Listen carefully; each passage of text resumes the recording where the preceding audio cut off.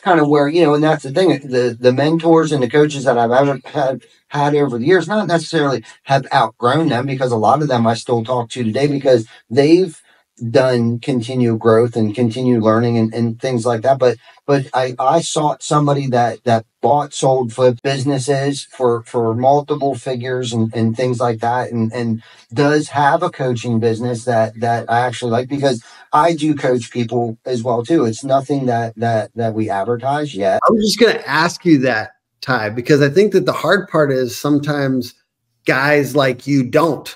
You know what I mean? Like, so it's mm. like people will talk smack about it, but then it's like, are you going to help them?